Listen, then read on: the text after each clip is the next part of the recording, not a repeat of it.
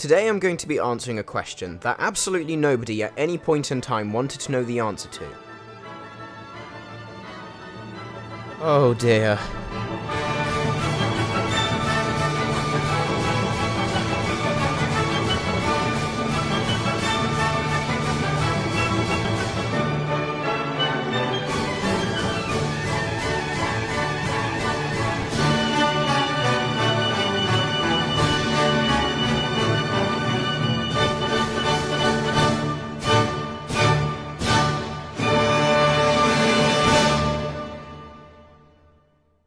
So, I think it's fair to say that you guys had quite a few objections to the rules I made in the last video. That was something I expected. What I didn't expect was for the video to become one of the most successful videos on my channel. So inevitably, I pretty much have no choice but to do this challenge again. So without further ado, let's answer the following question. Can you beat Fallout New Vegas without breaking the Ten Commandments? Now, despite a small minority of you feeling that I didn't need to say this, I need to once again make clear that this video is not a mockery of Christianity or any other religions. I myself am a Christian, but regardless of whether you are religious or completely despise the idea of God, I want to unite us all on what is the objectively correct belief, and that is that video games are freaking awesome. So let's go over the 10 commandments again, and then later see what rules are relevant for this game.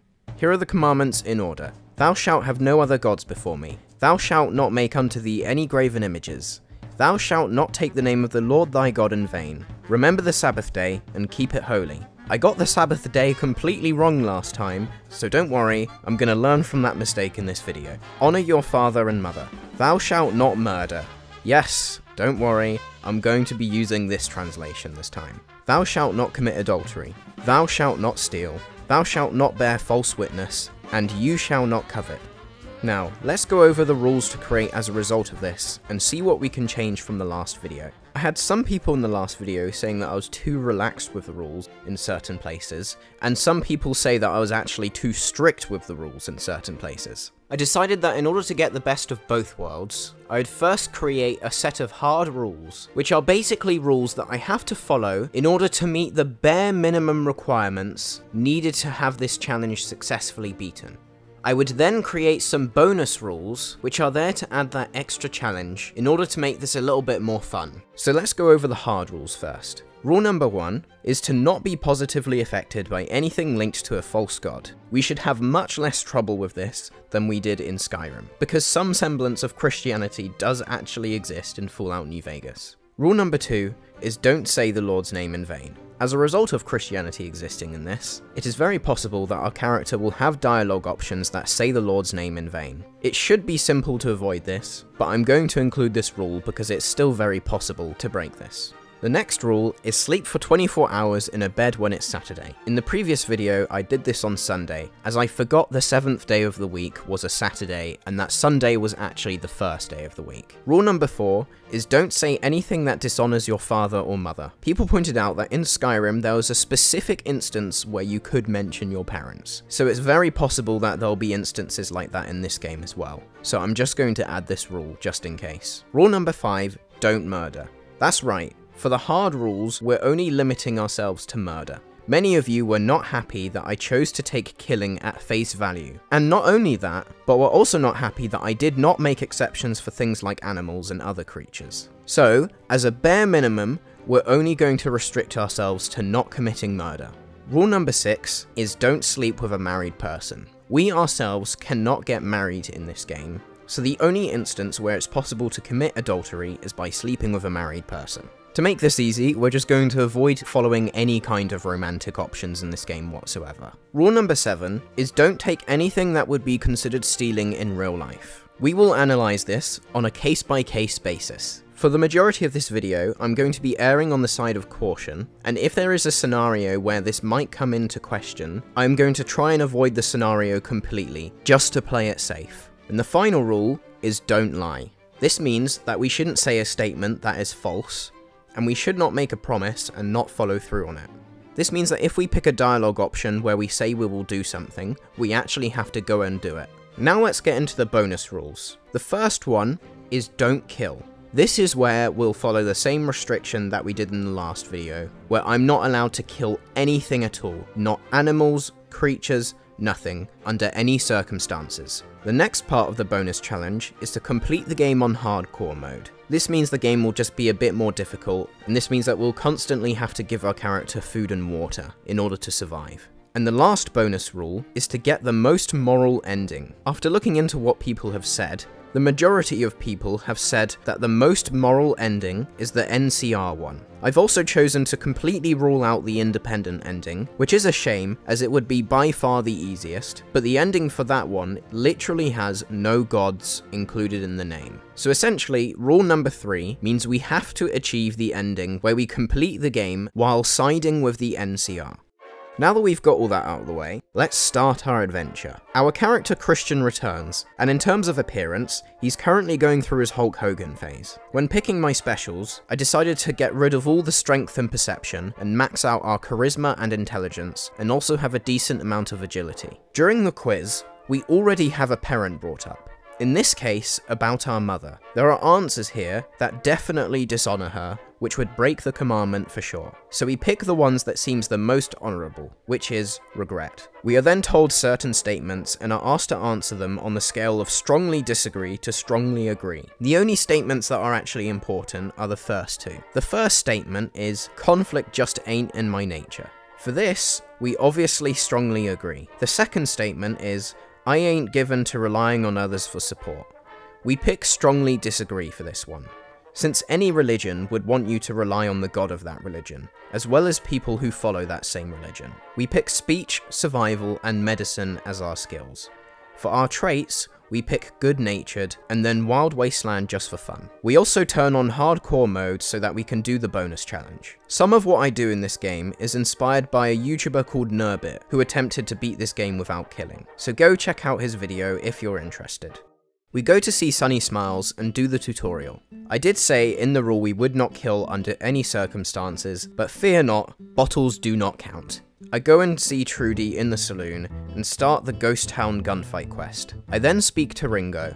I then tell Ringo what's going on. I am then tasked to get a few people to help with the quest. I get Sunny Smiles to agree to help, and then use my speech skill to persuade Trudy to help us. We also persuade Chet to open his supplies to people, and one particularly useful thing we get as a result is some leather armor. We use our speech to get extra supplies from Doc as well. We don't get dynamite from Easy Pete, since we don't want to do any killing ourselves. We then tell Ringo the good news. I then hide while everyone shoots the powder gangers, and we end up managing to beat the mission without any of the good guys dying. I level up my speech skill, and we acquire the Swift Learner perk to get experience more easily. We then make our way to Primm, but get chased by some geckos. Getting away was really difficult, and I only escaped with my life by using the complex tactic of pressing forward on the analog stick. We get warned by an NCR trooper that the place is off limits. I actually choose to listen to him, since I can just head straight to Novac anyway. On the way to Novac, we find a Powder Gang camp that we can use as a fast travel location. The Powder Gangers thankfully don't attack us and just leave us alone, although I inadvertently run past creatures that definitely won't leave us alone.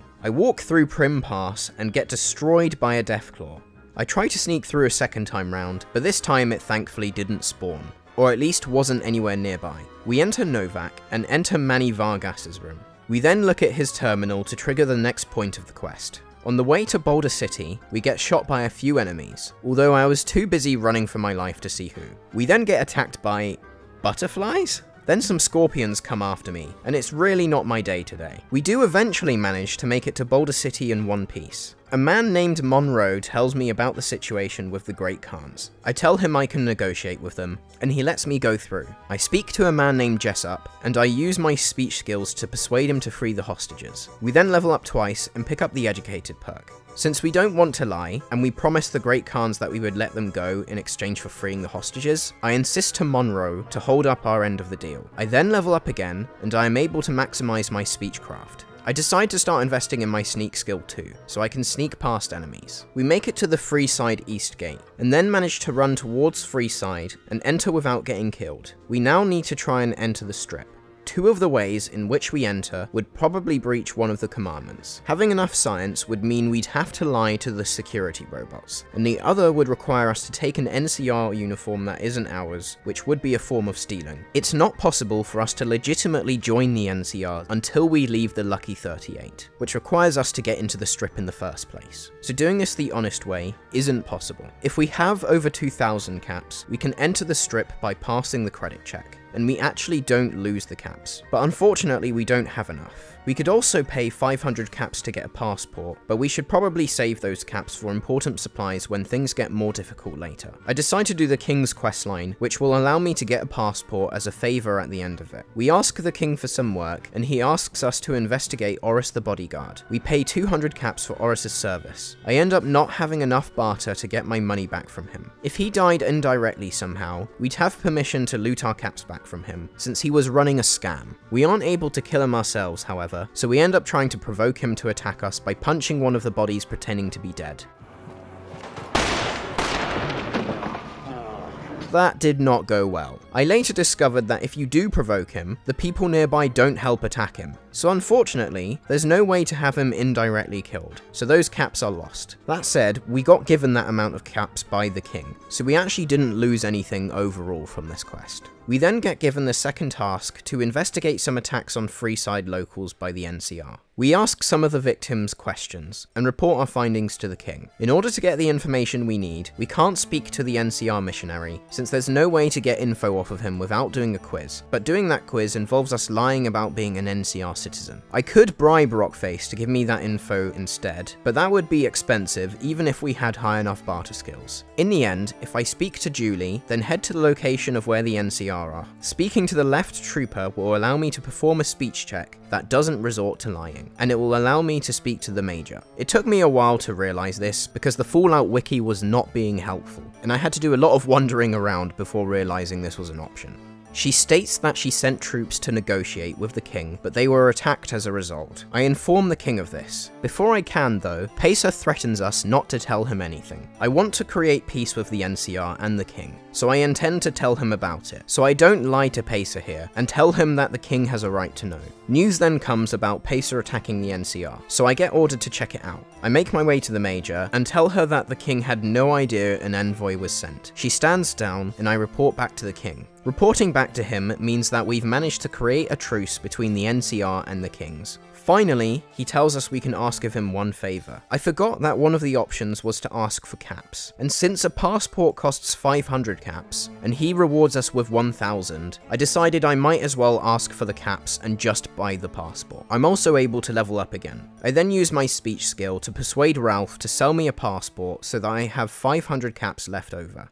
I then realise something. The passport I receive is referred to as a counterfeit passport. For some reason, I thought the passport would be genuine, and I never really thought about this properly. But since this isn't a genuine passport, and I'm using this, I consider this a form of lying because I have to tell the robot that I have a passport. At the very least, if I load an older save, I am 1000 caps closer to the 2000 caps requirement to enter, which means doing the King's Quest was not a complete waste of time. I have 1200 caps overall, so I need to make 800 more to meet the caps requirement. I didn't want to resort to gambling, since it is a bit of a grey area. You could also argue it's a form of coveting, and breaks that commandment. I decided to speak to Gloria Van Graff in the Silver Rush building and ask for work, as this will lead to not only getting more than a thousand gold, but also getting me some decent armor. It is not until later that I realise that completing this quest line requires us to do an action that's completely immoral. I get put on bodyguard duty, and out of all the people that try to get through, only one attacks us no matter what. And thankfully, the other bodyguard killed him in one shot, so I didn't need to kill him myself. We get 300 caps after returning to Gloria, and get given another job to deliver a package. We meet the guy and deliver the package. I report back and get told to tie up a loose end with Sharon Cassidy. As stated before, I didn't realise what I'd have to do here, and I actually glossed over the wiki guide of this quest, and didn't realise that fully completing this quest line would require me to approve of a straight up murder. So I decide to stop at this point with only 300 caps left to go. I am disappointed that I wasn't able to get that armor, but it's a sacrifice sacrifice I had to make in order to fulfill the will of God. I sell some of the stuff I have to just barely cross the 2000 caps threshold. I then speak to the robot and pass the credit check, and with that, I finally manage to enter the strip. Man, that was a lot of back and forth. This section took me quite a while to get through. I didn't think it would take me this long, and granted that was partly just due to me making decisions that would get me stuck, but it seems like avoiding telling lies is actually going to become one of the hardest parts of this challenge. Now we need to confront Benny at the Tops Casino. Once I enter, I go straight to Benny himself and confront him directly. When he suggests we go to his suite for a chat, I use my speech skills to allow him to lose the bodyguards. After chatting to Benny for a bit, he offers us a job, and we do the most Christian thing we can possibly do by saying, forget it, I forgive you. This spirit of forgiveness you're showing me. It's enough to make a player rethink what it means to win. You're 18 karat, baby, all the way. Unfortunately, we are reminded of the sinful nature of man, as Benny sends his bodyguards to kill me.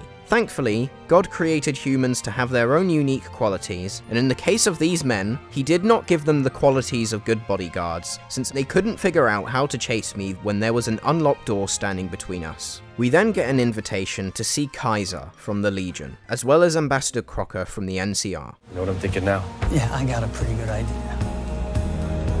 Seriously? I then go to see Mr. House at the Lucky 38. Mr. House ridicules me on my foolishness to confront Benny. I say that I was ambushed, since I was completely flabbergasted that he didn't accept my forgiveness of him, and also didn't change his sinful ways. Really?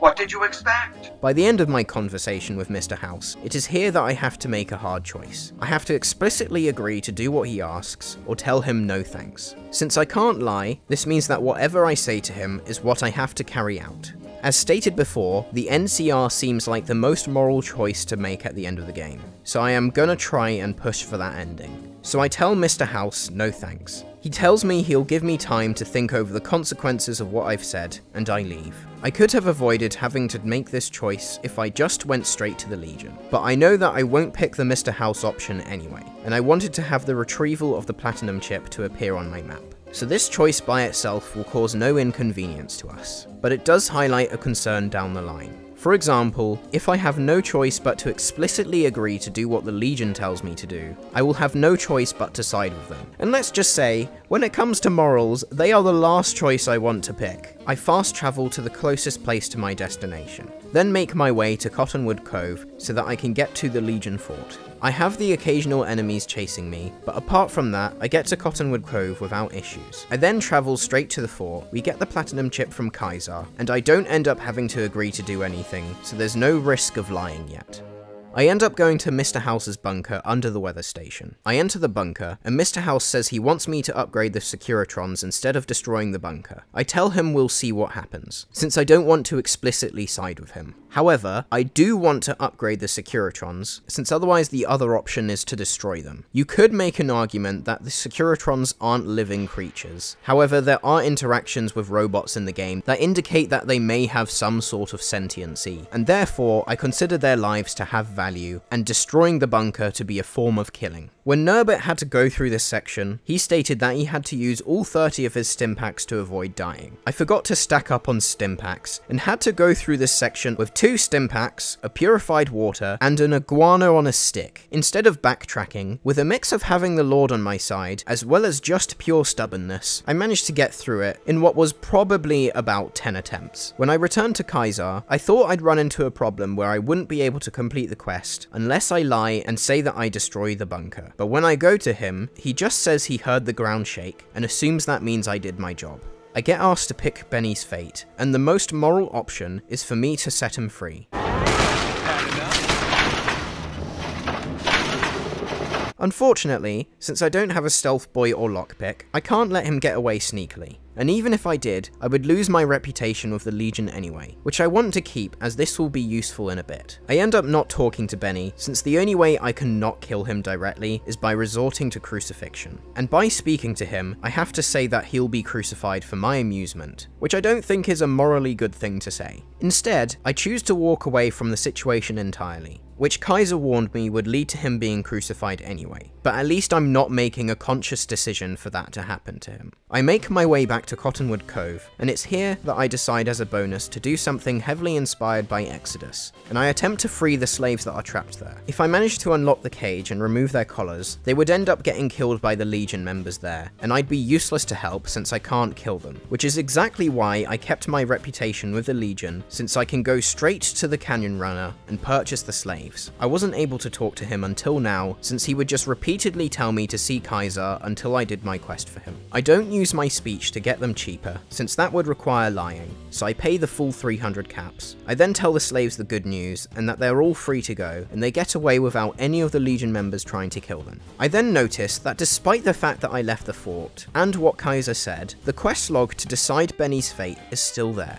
Since my reputation with the Legion no longer matters, as another bonus, I want to see if I can save Benny. Although he has done horrible things, I think leaving him to be crucified is not something I should allow. After all, Jesus died precisely so that no one would have to suffer the same punishment as him. And isn't the whole point of forgiveness that we give second chances to people that don't deserve it? I decide to err on the side of caution and try to obtain my stealth boy and bobby pin by having it given to me consensually by someone instead of looting it in the world, where it might have been someone's property at some point. According to the wiki, someone named Lily gives us a stealth boy when she becomes a temporary companion as part of a quest. Well, turns out the Fallout New Vegas wiki lied, as when I did this, she did no such thing. The only other ways of getting a stealth boy without looting it is by either doing a test that requires me to buy an add-on, or gain higher Legion reputation. I end up deciding to come back to this later, and just move on to the main quest for now. I end up talking to Ambassador Dennis Crocker so that I can start the NCR questline. I agree to do the quest he has for me, which is to get this group of people called the Boomers to agree to help. I manage to just about dodge the explosions and speak to an old lady named Pearl, and have to assist with people in the area in order to get her to agree to help the NCR. In order to increase my reputation enough with them without having to kill anyone, I need to speak to Pete and exhaust all dialogue options with him, as well as listening to his story about the boomers. This manages to get me to the accepted stage of reputation. I then speak to someone called Jack and agree to help him find his love interest. On the way, I decide to pay to use the water pump that the King's member guards, as well as 12 purified water. Since up until this point, there were multiple times where my character just died from dehydration on many different occasions. I then go to the Crimson Caravan Company. On the way there, we see Ringo and he gives us some caps, as a reward for helping him at the beginning of the game. I speak to the woman of interest called Janet, and after she tells us she feels the same about Jack, I use my speech skill to persuade Pearl to let her enter. I tell both of them the good news, and I also manage to persuade her boss Alice to let her leave with the wages she is owed. Both Jack and Janet meet, and I finish the quest. Next, I agree to repair the broken solar panels for a man named Loyal. I travel to Helios 1 to grab the spare parts. Since I am now helping the NCR, I have the option to say that I am with them to get access. I do not consider anything I salvage here to be stealing from the NCR, since the quest I am doing for the Boomers is for the purpose of getting them to assist the NCR, and it's also a quest that I am directly tasked by the NCR, so I would therefore have permission from them to do this. I managed to salvage 5 array parts, since they only required 20 repair skill. I then return and manage to repair all the solar arrays I'm tasked to do. After returning to Loyal, I get enough reputation to be considered liked, and I am able to return to Pearl to do the next part of the quest. I then go back to Loyal, and I'm tasked with raising a bomber from out of the water. I don't bother trying to gather the parts needed to have a rebreather to breathe underwater, and I manage to attach the ballast to the plane with minimal issues. I then trigger the detonator, and the plane successfully resurfaces. I tell Loyal the good news, and return to Pearl. We reach idolized status with the boomers, and I can level up. It is by this point that Saturday almost comes for the first time. Up until this point, I leveled up my explosive skill until now, where it finally reached 50. Now that I'm at this point, my plan to save Benny comes back into play. I head to Cottonwood Cove and speak to Decanus Severus. I tell him that I can show him how to disarm the NCR's mines, and use my new explosive skills to successfully explain it. I then do the exact same thing over and over again. This is almost definitely some kind of exploit. If not with the game, then at the very least this man's awful ability to remember things. But I don't consider it a breach of the commandments, since after all, there is no commandment saying, thou shalt out not exploit the short-term memory loss of a sexist slave owner in football gear. I don't exploit this any more than I need to, and get myself to a reputation of being liked by the Legion. I then speak to a man named Lucius, and because of my good reputation, I unlock the Legion safe house. By this point, our first Saturday comes around, and I manage to find a bedroll that I can sleep in without it having a red colour indicating it's a crime, and sleep for 24 hours. I arrive at the safe house. Atticus is there when I arrive, and I take two stealth boys from him. This means that I obtained a stealth boy that was given consensually by someone else, instead of picking it up off the ground. You'd probably be right if you argued that I was being way too strict when it comes to what is classified as stealing. And if it ever comes down to it, I won't consider all forms of looting stuff in the world to be a breach of the rule. I just wanted to avoid it if it was possible for me to do so. And in this case, it just about was. Now all that's left to do is to obtain a bobby pin. Thankfully, I'm able to just buy them outright by going to Miguel's pawn shop in Westside. Finally, I travel back to the fort and give Benny the stealth boy and bobby pin. Baby, your generosity and spirit of forgiveness? Off the charts. And I use the stealth boy on myself so I don't get attacked. Yeah, that doesn't work. So I put on the stealth boy first, then free Benny.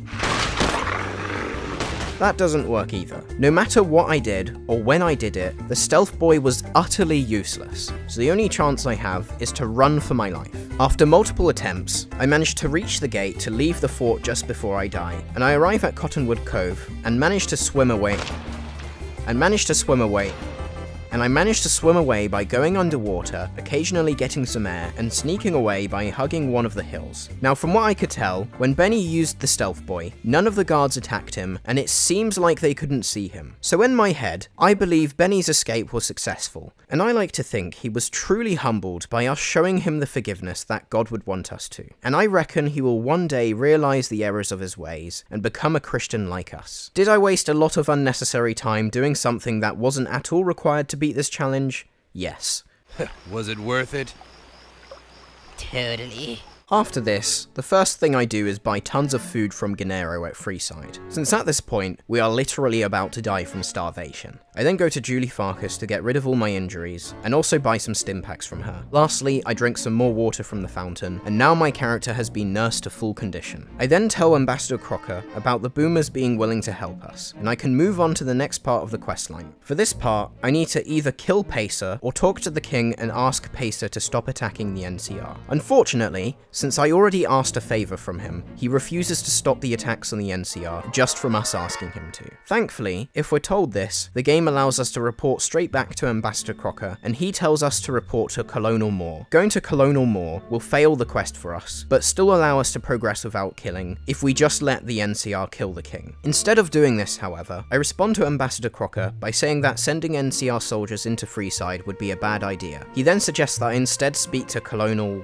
Hasu?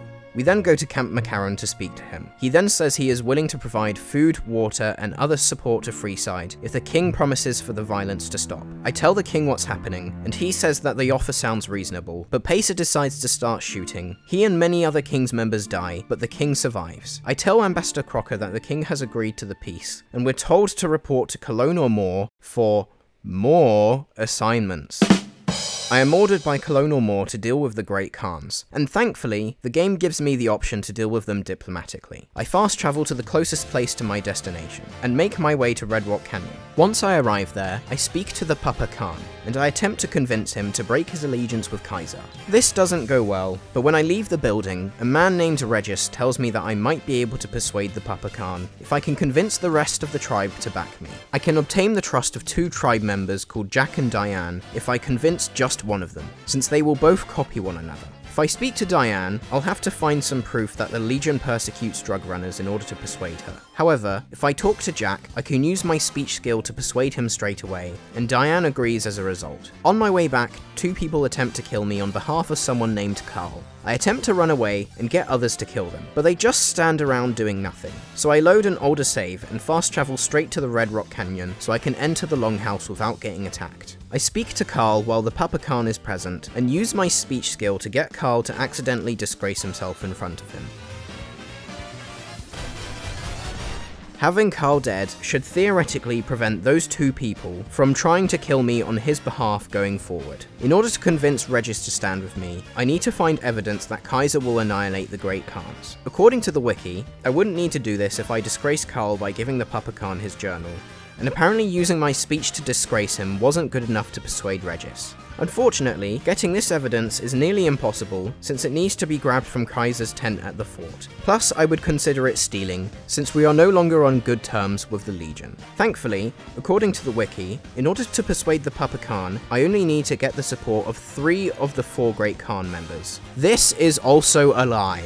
You need the support of all four of them, and I don't realise this until later, since once I reach her after getting past a load of crabs and deathclaws, and persuading her to stand with me, once I travel back to the Red Rock Canyon, for some reason I'm not given the dialogue option to convince Papa Khan. We also can't use Carl's journal after he's dead, which is a shame because when we take it, it's no longer marked red, which means we would have been able to get away for it not being stealing. Whereas if we load an older save, since it's explicitly marked red, and we lose karma when taking this, I personally consider it stealing. And once again, by taking the diary from the Legion while I am vilified by them, I also consider it a form of stealing. This means that at this point, I am truly stuck and I have no other choice but to steal. Load an older save from when I was in good standing with the Legion. I load the save where we were at the point before I saved Benny.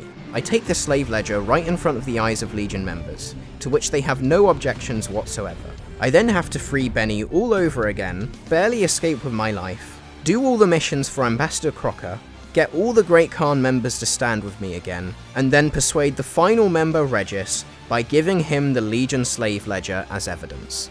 After all of this, I finally get the option to persuade the Papa Khan. With my speech skill, I persuade him to let the Great Khans reclaim their own glory. This means that they will peacefully leave the desert when the alternate option gets them to do a suicide mission against the Legion. I report back to Colonel Moore and simply tell her that the Khans won't be a problem anymore.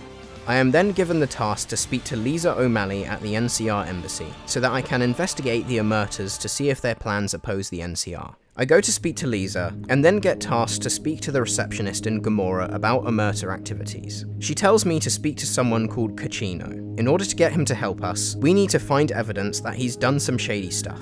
It is here that in order to progress the quest, I need to do something morally questionable. The only way I can progress this quest is by stealing his journal from his room, or by pickpocketing it off him directly. Now, many of you stated in my previous video that if I only borrow an item and give it back, then it's not stealing. The quest forces me to make a choice here, so I have no choice but to do this. If we take the book from his room, we will actually lose karma, and the metrics will actually consider this stealing. But for some reason, if I pickpocket the book of him directly, this actually doesn't result in a karma loss. To make things even weirder, when I go and check the metrics, it still says that I haven't picked anyone's pocket, possibly because it was a quest item, so pickpocketing is definitely the better option here, since not even the game considers this stealing. I pick the option to return the journal to him for 100 caps, and for him to agree to share information about the family. I then reverse pickpocket him to give him his 100 caps back. Since by taking something and returning it in return for being given money, we can't really take a moral stance, and this would almost definitely be considered stealing. But by giving the caps back, we might be able to argue that we took his journal off him for the purpose of getting him to expose the criminal history of other members. And the argument of borrowing it is much more convincing. That said, I am curious to hear your thoughts on this, so please leave your thoughts in the comment section. I personally won't consider this a breach of the rule.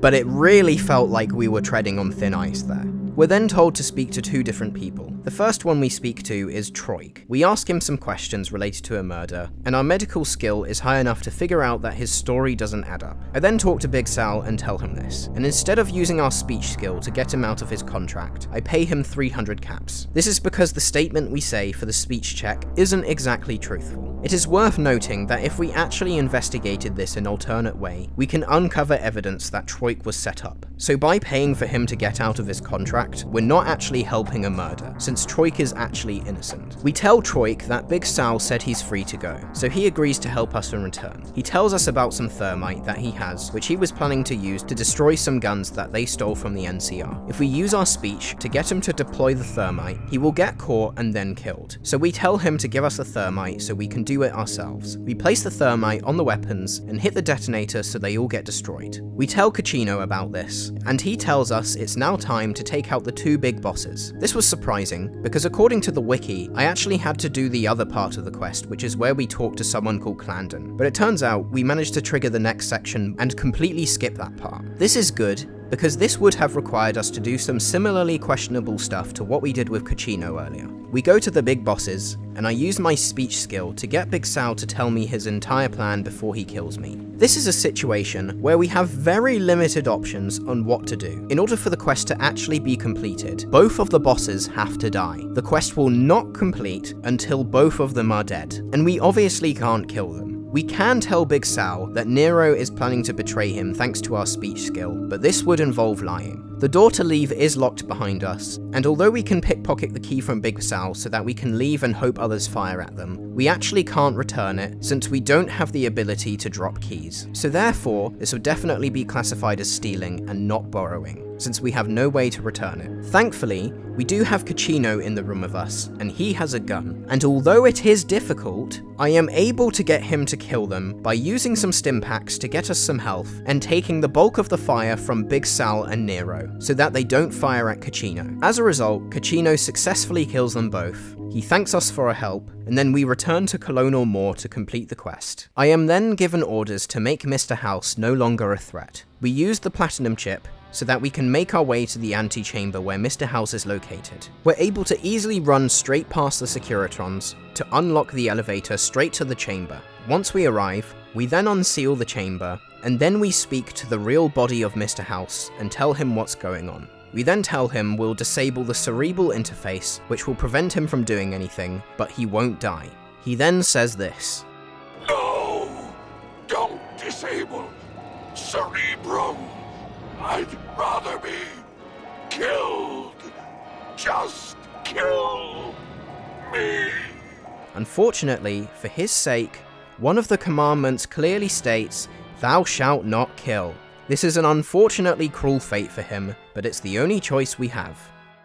We leave and the Securitrons no longer try to kill us, so we're able to leave the Lucky 38 without problem. We then report back to Colonel Moore. We're told that we need to deal with the Brotherhood of Steel. In order to avoid us having to loot anything that isn't ours, we head to the 188 trading post and get Veronica, a former member of the Brotherhood of Steel, as our companion. We then travel to the Hidden Valley, and Veronica speaks into the intercom, which allows us to go through. Having Veronica with us allows us to skip the first task, and the Brotherhood of Steel questline triggers. I then tell her it's time to part ways, but let her go to the Lucky 38, so she has a nicer place to live than she currently does. We speak to Elder McNamara, and he gives us a task. The only way we can beat this section without killing anyone is by finishing the Brotherhood of Steel questline, and then getting them to agree to a truce with the NCR. Since otherwise, the only alternative is to either kill all the Brotherhood of Steel members, or blowing the entire bunker up, which again would result in us killing them. A paladin called Hardin then approaches us and asks us to help him become the Elder. If we side with him, it's impossible to have a truce with the NCR, so we shut him down right off the bat. I then go and retrieve the three holotapes. This isn't considered stealing, because we are returning these to the Elder of the Brotherhood of Steel, of which these dead bodies were formerly members of. We get the first one with ease, however our obstacle comes when we have to loot a keycard that doesn't belong to us in order to get the holotape at the REPCONN headquarters. Some of you argue that it's not stealing, and most likely you're correct, but once again I'm erring on the side of caution, and I'm avoiding looting it anyway. Plus there's also the fact that the headquarters is actually still functioning, so it's not like we're looting it in a place where the place is completely obsolete. For that reason, I do a couple of quests so that I can level up my science to 50, since it's already at 30. I first do the quest called That Lucky Old Sun. The quest was easy enough, and I pick the option to retarget the power to the whole region so that it's shared with everyone equally.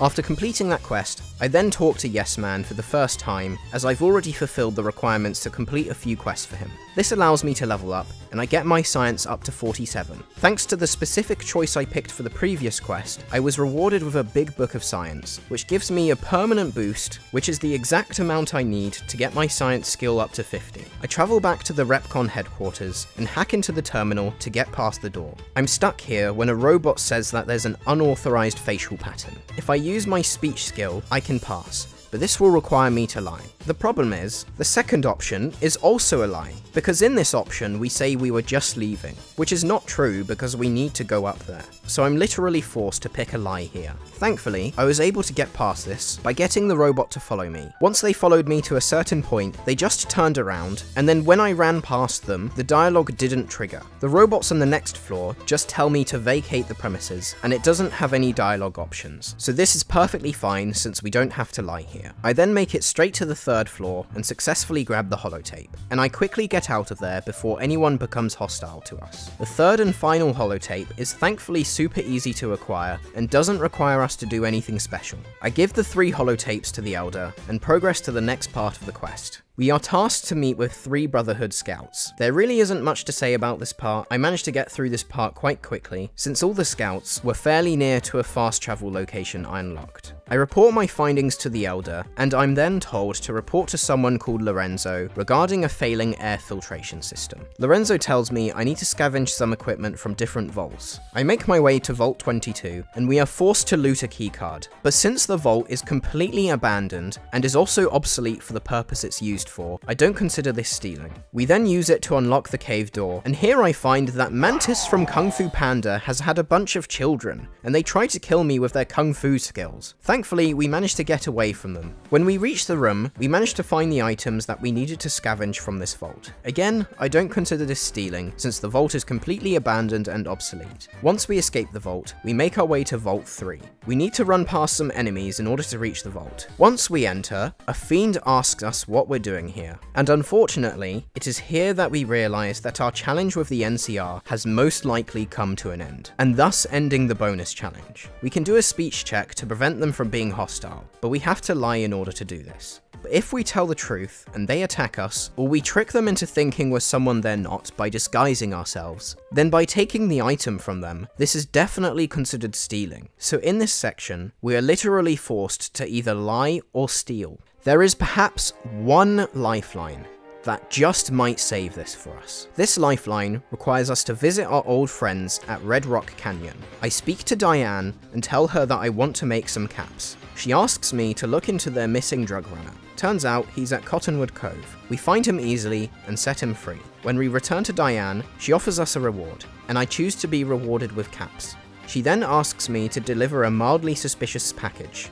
I deliver the package without issue and return back to Diane. When I ask for some work, she asks us to deliver a highly suspicious package, which she admits is full of Jet and Psycho. Her explicitly saying what's in the package is very important. And who do I need to deliver this to? Someone called the Motor Runner, who is located inside Vault 3. By this point, it is almost Saturday, so I wait a bit, then sleep for 24 hours. We then enter Vault 3, and once again, the Fiend asks us what we're doing here. But this time, if we do the speech check, we are actually telling the truth. This means that the enemies stop becoming hostile without us having to disguise ourselves or perform any form of deception and they allow me to go straight to the delivery location that would have otherwise been locked. We then deliver the drugs to the motor runner, since that way we're actually fulfilling what we said we'd do in the speech check. And it turns out the part we need to take is in that very same room, and we take it in front of the motor runner, to which he has no objection, which means that I can get away with not considering this stealing. And for now, our goal to beat this challenge with the NCR remains intact. Gosh, who knew that drug dealing was the only way we could get the most moral outcome?